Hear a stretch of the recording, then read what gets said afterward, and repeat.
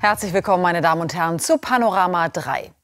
Kaputte Fensterscheiben, 19 verletzte Polizisten, die Chaosnacht von Stuttgart wirkt nach. Die Hintergründe, warum es zu dieser Randale von Jugendlichen kam, sind noch unklar. Darüber wird debattiert.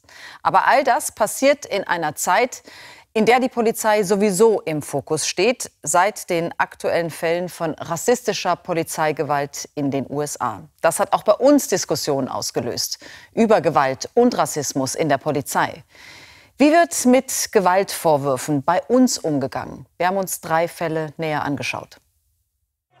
Ja, wie immer man eine Ombudsstelle nennen mag, nach diesen Bildern wird klar, dass es innerhalb oder außerhalb der Polizei eine Stelle geben muss, die solche Vorfälle anders aufarbeiten kann.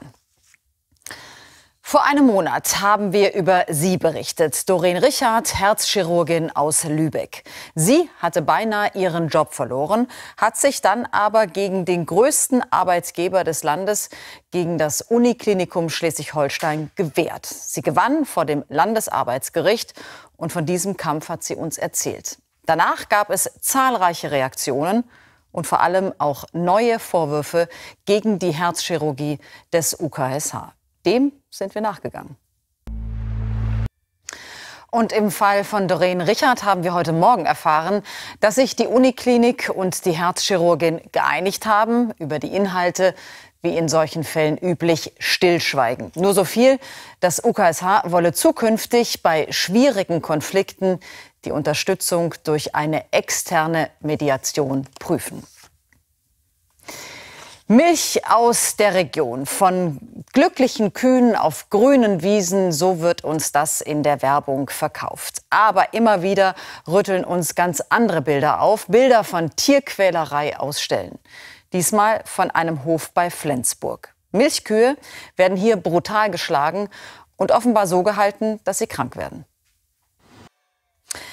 Es war ein wirklich bemerkenswertes Interview im Treppenhaus mit diesem Mann, Wladislav S., vor zwei Jahren, am Tag nach einer Razzia in seiner damaligen Wohnung.